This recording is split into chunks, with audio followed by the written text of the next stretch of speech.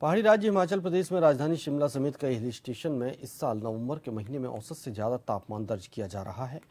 Expert इस गर्मी की वजह पश्चिमी विक्षोभ को मानते हैं। उनका कहना है कि इस साल बारिश कम हुई है और मौसम भी काफ़ी शुष्क है।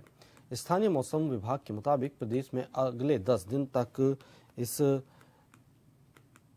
तरह गर्मी रहने की उम्मीद है। मौसम विभाग के मुताबिक राज्य के कई हिस्सों में अधिक तापमान सामान्य से चार से 5 डिग्री ज़्यादा दर्ज किया गया है। वहीं हिमाचल प्रदेश के कुछ जिलों में नवंबर के दूसरे हफ़्ते में हल्की बारिश का अनुमान है।